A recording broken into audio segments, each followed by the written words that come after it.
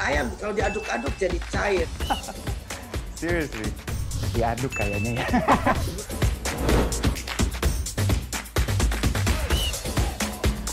Oh, pro luar negeri gimana ya? Ini demi kemajuan bangsa Indonesia.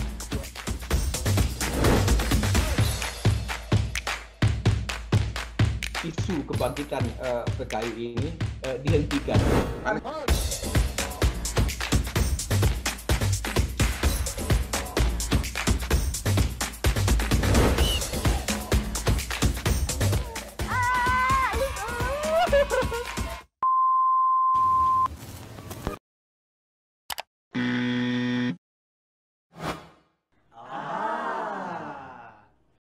Medcom.id, a part of Media Group News.